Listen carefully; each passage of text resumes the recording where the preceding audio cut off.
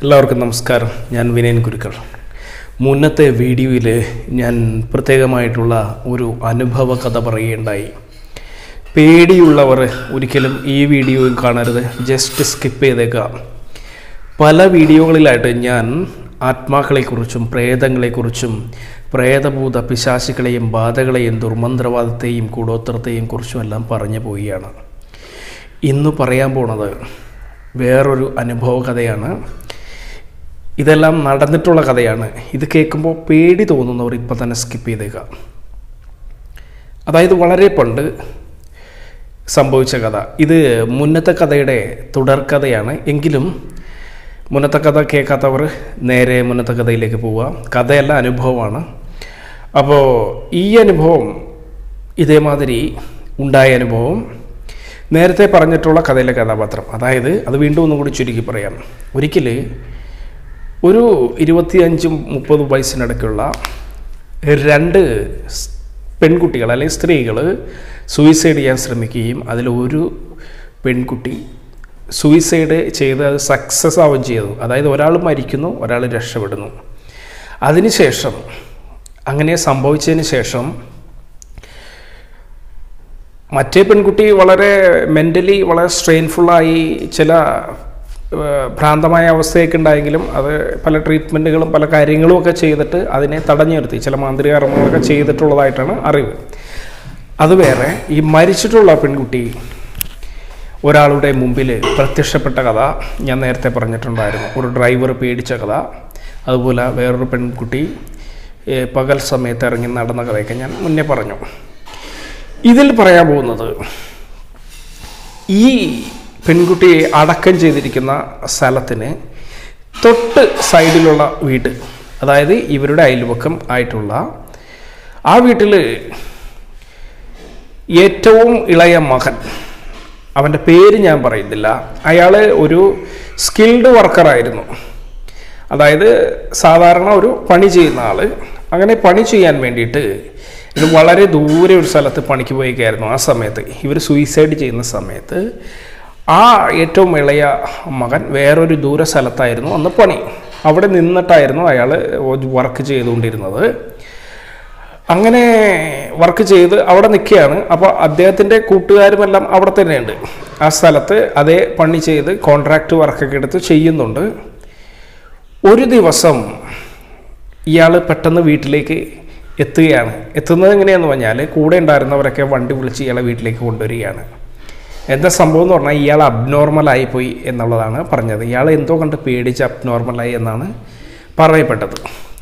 എന്താണ് അബ്നോർമാലിറ്റി എന്നുള്ളത് ആൾക്കാർക്ക് പെട്ടെന്ന് മനസ്സിലായില്ലെങ്കിലും ചില ദിവസങ്ങൾക്കുള്ളിൽ മനസ്സിലായി. കാര്യം കാര്യം അതിന്റെ കാര്യം എന്താണെന്ന് പറഞ്ഞാൽ ഒരു ദിവസം ഇദ്ദേഹം രാത്രി ഈ പറഞ്ഞ പയ്യൻ രാത്രി അവിടെ അടുത്തുള്ള ഒരു റെയിൽവേ പാതയുടെ സൈഡിലൂടെ നടക്കുമ്പോൾ ഒരു രൂപം കാണുകയും ഒരു പെൺകുട്ടിയെ കാണുകയും ആ പെൺകുട്ടി അടുത്ത് വന്നിട്ട് ഇയാളോട് സംസാരിക്കുകയും ചെയ്തു. അതിനുശേഷം ഒരു മാഞ്ഞു പോയി. എന്തൊക്കെയോ ഇയാൾ പറഞ്ഞു. എന്നിട്ട് എന്റെ കൂടെ പോരുമോ എന്ന് ചോദിച്ചു എന്നാണ് വാക്കുകളവർ പറയുന്നത്. ആ പെൺകുട്ടി വേറെ ആരുമല്ല. നേരത്തെ സൂയിസൈഡ് ചെയ്തിരുന്ന ആ പെൺകുട്ടി തന്നെ ആയിരുന്നു. അതിനുശേഷം ഇദ്ദേഹത്തിന്റെ നില മാറുകയും അബ്നോർമലായി പോവുകയും ചെയ്തിരിക്കുന്നത് അപ്പോൾ ഈ ഇദ്ദേഹം വീട്ടിൽ വന്നതിന് ശേഷം ഞാനൊക്കെ കാണാൻ പോയിട്ടുണ്ടായിരുന്നു പല പ്രാവശ്യവും. അപ്പോൾ അദ്ദേഹം സോപ്പിന്റെ കൂട് പഴയ ചന്ദ്രിക സോപ്പിന്റെ ഒക്കെ കൂട് എടുത്തിട്ട് അദ്ദേഹം ഇങ്ങനെ കാട്ടിയിട്ട് പറയും കണ്ടോ ഈ കൂട്ടിൽ അവളുണ്ട് അവൾ ഞാൻ അടച്ചു വച്ചിരിക്കുകയാണ്. ഇവൾ വന്ന് എന്നെ വിളിക്കുന്നുണ്ട്.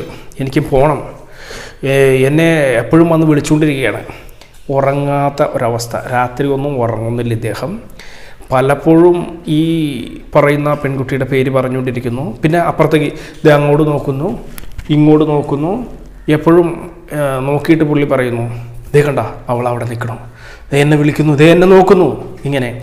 അതായത് എപ്പോഴും ഈ ഒരു സംസാരം തന്നെയാണ്. അപ്പോൾ ചില ആളുകൾ പറഞ്ഞു ഇവന് മെന്റലായി പ്രാന്തായി വട്ടായി സൈക്കോളജിസ്റ്റിനെ കാണിക്കണം സൈക്കാട്രിസ്റ്റിനെ കാണിക്കണം.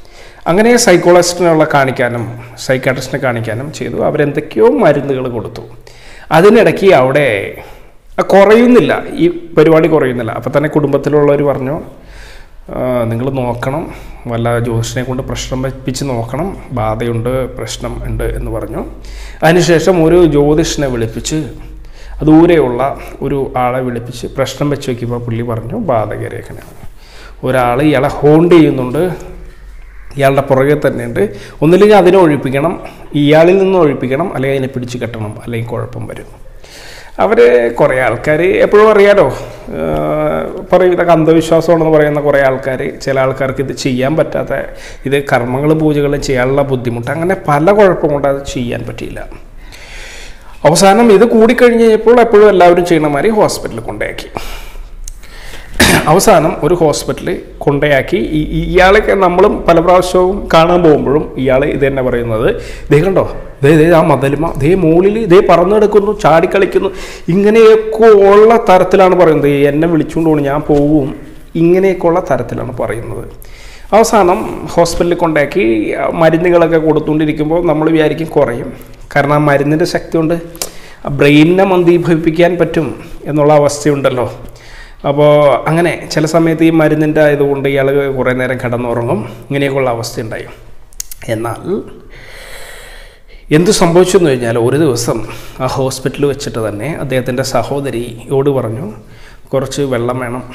പുറത്തു പോയി മേടിച്ചു കൊണ്ടുവരാൻ പറഞ്ഞു കഴിഞ്ഞപ്പോൾ അവർ പുറത്തേക്ക് ഇറങ്ങുന്ന സമയത്തിനുള്ളിൽ ഇയാൾ അയാൾ ഉടുത്തിരുന്ന മുണ്ട് ജസ്റ്റ് ഫാനുമോ കെട്ടി തൂക്കി സൂയിസൈഡ് ചെയ്തു. അതായത് നിസാര സമയം കൊണ്ട്. ഇത്ര അധികം സമയമൊന്നും വേണ്ടി വന്നില്ല. ഇവർ പുറത്തിറങ്ങി മുകളിലെത്തി കഴിഞ്ഞപ്പോഴത്തേക്കും ആൾ തീർന്നു. അപ്പോൾ ഇങ്ങനെയൊക്കെയുള്ള കഥകളുടെ പ്രത്യേകത എന്താണെന്ന് പറഞ്ഞാൽ ഇത് ആദ്യം തന്നെ പറഞ്ഞു. എന്ത് പറഞ്ഞു? ഇവരെ കണ്ടതായിട്ട് ഞാൻ രണ്ടുപേരെ കണ്ടതായിട്ടും പേടിച്ചായിട്ടും പറഞ്ഞു. മൂന്നാമത്തെ സംഭവം ഇവനിത് കൂടി. ഇവനെ കൂടിയെന്ന് പറഞ്ഞാൽ ഇവനെ ഈ ഇവനിത് കാണാൻ പറ്റി. ഇവനെ ബാധിച്ചു. ഇത് ബാധിച്ചതിന് ശേഷം ഇത് ചിലർ മെന്റലാണെന്ന് പറയാം. മെന്റൽ എന്ന് പറഞ്ഞു കഴിഞ്ഞാൽ മനസ്സെന്ന് പറയുന്ന സാധനം നിങ്ങൾക്ക് കാണിച്ചു തരാൻ പറ്റും സുഹൃത്തുക്കളെ. മനഃശാസ്ത്രം. ഇങ്ങനെയൊക്കെയുള്ള ശാസ്ത്രങ്ങൾ ഞാനും പഠിച്ചിട്ടുണ്ട്. ഞാനും മാസ്റ്റർ ഡിഗ്രി എടുത്തിട്ടുണ്ട് മനഃശാസ്ത്രത്തിൽ അത് തിയററ്റിക്കലിയാണ് ഹൈപ്പോസ്തെസിസ് ആണ് എല്ലാം ഊഹാഭോഗങ്ങൾ എല്ലാം. അപ്പോൾ മനസ്സ് മനസ്സെന്ന് പറയുന്നത് പഞ്ചേന്ദ്രിയങ്ങളുടെ അനുഭവങ്ങളെ ക്രോഡീകരിക്കുന്നതിനുള്ള ഒരു സമവാക്യമാണ് അല്ലെങ്കിൽ ക്രോഡീകരിക്കുന്നതിനെ ഒരുമിച്ച് പറയുന്നതാണ് എന്താണെന്ന് പറയുന്നില്ല. എന്നാൽ ഞാൻ പറഞ്ഞു മനസ്സെന്ന് പറയുന്ന ഒരു സംഭവം ബോഡിയിലുണ്ട്. അതിരിക്കുന്ന ചക്രം ഇതാണ് അല്ലെങ്കിൽ അതിരിക്കുന്ന മർമ്മ പോയിന്റ് ഇതാണെന്നൊക്കെ ഞാൻ മുന്നേ പറയേണ്ടായി മനുഷ്യന് ആററിവാണ് അഞ്ചറിവല്ല പഞ്ചേന്ദ്രിയങ്ങൾ ആറാമത്തെ അറിവാണ് പകുത്തറിവ് അഥവാ മനസ്സെന്ന് പറയുന്നത്. അപ്പോൾ മനസ്സുണ്ടെങ്കിൽ അറിയാൻ പറ്റുള്ളൂ. അതിനെയും മറ്റുള്ള കാര്യങ്ങൾ അറിയണേ എന്റെ മുന്നേ വീഡിയോ പോയി കാണുക. പഞ്ചഭൂതങ്ങളെയും ഷടാധാരങ്ങളെയും ചക്രങ്ങളെയും നാടികളെയും ശരത്തെയും മനസ്സിനെയും ആത്മാവിനെയും പറ്റിയെല്ലാം മുന്നേ പറഞ്ഞിട്ടുണ്ട്. എന്നിട്ടാണ് ഇപ്പോൾ ഈ കഥകൾ പറഞ്ഞുകൊണ്ടിരിക്കുന്നത്.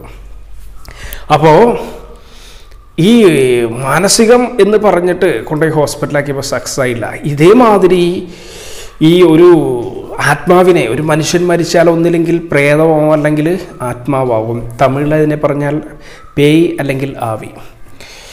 അപ്പോൾ ഈ ഇതിനെ ദുർമരണം സംഭവിച്ചാൽ ആ ഒരു ഏരിയയിൽ തന്നെ കടന്ന് കളിക്കുവർ എന്നാൽ ഒരു സെക്കൻഡ് കൊണ്ട് ഒരു ലോകത്തിന്റെ ഒരു ഭാഗത്ത് നിന്ന് വേറെ ഭാഗത്തേക്ക് ഇവയ്ക്ക് സഞ്ചരിക്കാൻ പറ്റുമെന്നുള്ളതാണ് നമ്മളുടെ മരണത്തിന് ശേഷം നമ്മളുടെ അവസ്ഥ ഇതായിരിക്കും. പക്ഷേ ആഗ്രഹങ്ങൾ സാധിക്കുവാനായിട്ട് പലപ്പോഴും ശരീരം ആവശ്യമായിട്ട് വരും. അല്ലെങ്കിൽ ഇഷ്ടപ്പെട്ട ആളുകളുടെ കൂടെ വിഹരിക്കാനായിട്ട് ശരീരം ആവശ്യമായിട്ട് വരും. അവരുടെ എനർജി അത്രയും എനർജി ഉണ്ടെങ്കിൽ മാത്രം ചില ആളുകൾക്ക് മാത്രം ചില പ്രത്യേക അവസരത്തിൽ അവരെ കാണാൻ പറ്റും.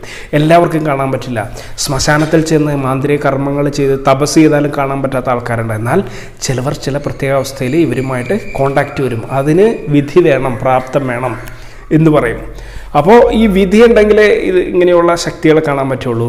ഇത് ഇങ്ങനെ വന്ന് ദുർമരണപ്പെടണമെന്നാണ് അയാളുടെ വിധിയെങ്കിൽ അതങ്ങനെ തന്നെ സംഭവിച്ചു തന്നിരിക്കും അപ്പോൾ ഇങ്ങനെയുള്ളൊരു സംഭവം ആ നാട്ടിൽ നടന്ന് എല്ലാവരും പേടിച്ച് അതിനുശേഷമാണ് സുഹൃത്തുക്കളെ പല കർമ്മങ്ങളൊക്കെ ചെയ്ത് വീണ്ടും ദുർമൃതികൾ വരാതിരിക്കാൻ വേണ്ടി കർമ്മങ്ങളൊക്കെ ചെയ്ത് പല കാര്യങ്ങൾ ചെയ്തത്. ഇതിന്റെ ബാക്കി ഇനിയും പല കഥകൾ പറയാനിരിക്കുന്നുണ്ട്. കണക്റ്റായിട്ട് അതായത് പ്രേതബാധയുമായി സംബന്ധിച്ചിട്ടുള്ള പല വിധത്തിലുള്ള കഥകളാണ് പറയാനിരിക്കുന്നത്.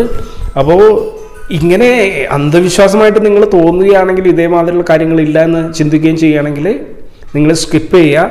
എന്നാൽ പല മാനസികം എന്ന് തോന്നുന്ന പല കാര്യങ്ങളുടെയും അടിസ്ഥാനത്തിൽ ഇതേമാതിരി നമുക്ക് ദർശിക്കാൻ പറ്റാത്ത ശക്തികളും പ്രേതഭൂത ആത്മാക്കളുമുണ്ട് എന്ന് ഞാൻ വിശ്വസിക്കുന്നു. എന്റെ ചില അനുഭവങ്ങളാണ് ഇവിടെ പറയുന്നത്.